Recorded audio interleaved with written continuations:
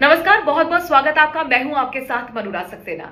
आज की खबर में हम बात करेंगे उस खबर की जिसकी चर्चा पूरे देश में हो रही है। फैसला तो असम से लिया गया लेकिन ये पूरे देश की राजनीति को प्रभावित करता है। लिहाजा चिंगारी असम से उठी लेकिन जंगल में आग की तरह पूरे देश में फैल गई। राजनीति इस वक्त ज़ोर शोर से हो रही है। आखिरकार किस तरह के, के राजनीतिक बयान आ रहे हैं ये तो आपको बताएँगे लेकिन उससे पहले वो फैसला जान लीजिए जिसको लेकर सियासत गर्म है।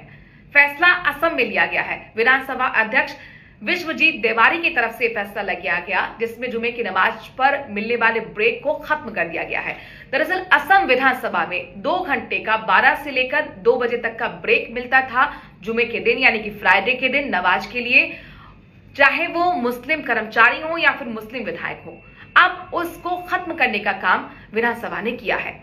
खुद मुख्यमंत्री हेमंत बिस्वा शर्मा ने ट्वीट के ज़रिए इस बारे में जानकारी दी। विधानसभा अध्यक्ष का शुक्रिया अदा किया और उन्होंने बताया कि सतासी साल पुराने नियम को खत्म करने के साथ उपनिवेशक बोझ को भी हमने खत्म कर दिया है। अब आप कहेंगे, उपनिवेशक बोझ कैसे? दरअसल ये सतासी साल पुराना नियम है, यानी कि 1937 में मुस्लिम लीग के सैयद सादुल्ला ने ये नियम बनाया था, जब अंग्रेज़ों का शासन हुआ करता था। आखिरकार उस नियम को खत्म कर दिया गया।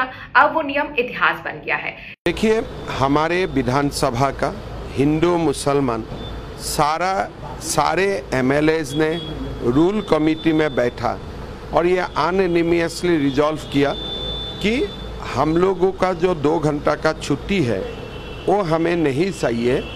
हम ये दो घंटा भी काम करूँगा। ये जो प्रैक्टिस थे, ये 1937 में शुरू हुए थे कल से ये प्रैक्टिस को बंद कर दिया गया है। लेकिन ये फैसला विपक्ष को फूटी आँख नहीं सुहा रहा। तरह तरह का बयानबाजी हो रही है। आरजेडी के नेता तेजस्वी यादव ने कहा है कि एक सस्ती लोकप्रियता का तरीका है माध्यम है उन्होंने कहा कि एक सॉफ्ट टारगेट विशेष वर्ग को बनाया जा रहा है। शाम की जो मुख्यमंत्री है वो सस्ती लोकप्रियता के लिए इस तरह से करते हैं। ये है कौन? ये केवल सस्ती लोकप्रियता चाहते हैं।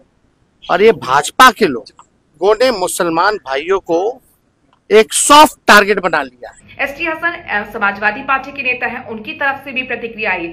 एस टी हसन कह रहे हैं कि ये जो दो घंटे का ब्रेक मिलता था ये जो छूट मिलती थी ये नमाज़ के लिए मिलती थी कोई क्राइम करने के लिए नहीं मिल रही थी। अगर 1937 से नियम चल रहा था तो उसे खत्म करने की क्या ज़रूरत थी? नमाज़ पढ़ने जा रहा आदमी कोई क्राइम करने थोड़ी जा रहा है। आपके सोचने का अंदाज देखिए क्या है। ये तो यही चाहते हैं कि देश के अंदर सिर्फ़ हिंदू ही रहें और बाकी देश में कोई ना रहे, ना ही उनका कोई रिचुअल फॉलो हो। हालाँकि तरन गोगोई, जो कि बीजेपी की नेता है, सरकार के फैसले का उन्होंने बचाव करते हुए कहा कि विशेष प्रिविलेज किसी भी वर्ग को नहीं मिलनी चाहिए। ऐसे तो हिंदू भी खड़े हो सकते हैं और वो ये मांग कर सकते हैं कि दो घंटे का ब्रेक हमें भी चाहिए। हमको भी टेंपल जाना है, हमको भी मंदिर जाना है। इसीलिए समानता को ध्यान में रखते हुए ये फैसला हमने खास तौर पर प्रोडक्टिविटी बढ़ाने के लिए लिया है, यानी कामकाज प्रभावित जो होता था शुक्रवार के दिन, वो नहीं होगा। हर दिन की तरह शुक्रवार को भी विधानसभा में कामकाज सुचारू रूप से चल सकेगा, और इसीलिए हमने ये फैसला लिया है। I think it is a bold decision from our side and I think everybody should respect every religion and the and Congress MLA also should thank us ये तो रही सरकार की बात, ये तो रही राजनीतिक बयानबाजी। लेकिन इन सब के बीच में इसके इतिहास के बारे में भी जान लीजिए कि आखिरकार ये फैसला क्या कहता है और जिस तरीके का फैसला हेमंत बिस्वा शर्मा सरकार ने लिया है, आखिरकार इस पर इतना बवाल क्यों मचा हुआ है? इसके बैकग्राउंड को भी आप समझिए।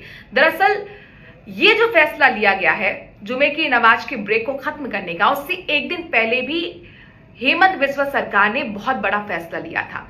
उन्होंने साफ़ तौर पर कहा था कि काजी अब निकाह और तलाक नहीं करा सकेंगे, यानी कि जो मुस्लिम कपल्स हैं, अगर वो विवाह कराना चाहते हैं तो उनके लिए रजिस्ट्रेशन अनिवार्य हो गया है। इसके साथ साथ वो ये ऐलान कर चुके हैं कि बहु विवाह पर रोक लगाने का काम आगे आने वाले समय में वो करेंगे।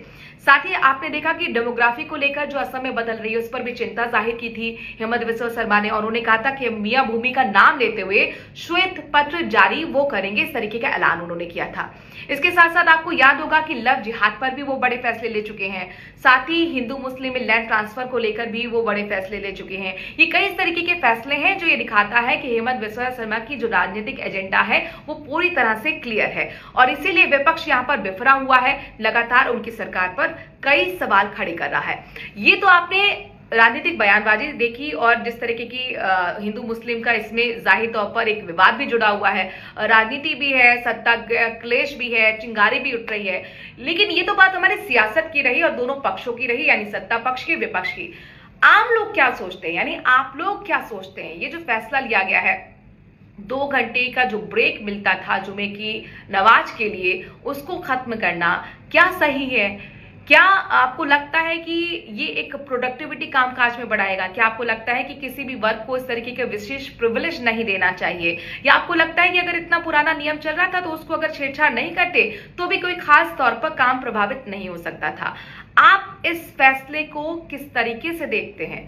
क्या सोचते हैं? कमेंट के ज़रिए ज़रूर बताइए और ज़्यादा से ज़्यादा इस वीडियो को शेयर कीजिए। नमस्कार।